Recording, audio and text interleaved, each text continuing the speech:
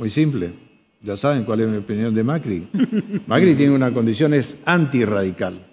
Entonces, a un antirradical es muy simple. ¿Se, va ¿Se rompió juntos por el cambio? Espero que sí.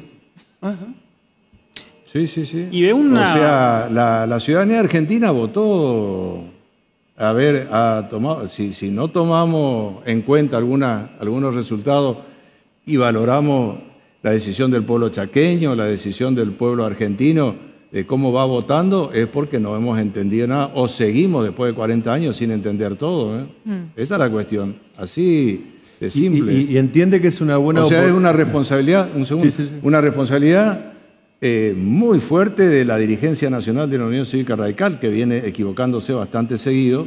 Y entonces, bueno, perfecto.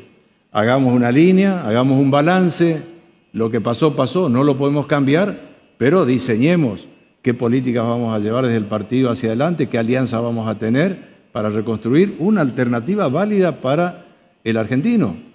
Dos opciones, fuerte, y vayamos por la positiva, es decir, que le vaya bien al próximo gobierno y que cuando seamos alternativa eh, tengamos que proponer algo que lo supere. Acá no, estamos esperando que le vaya peor y entonces así puedo ganar las elecciones.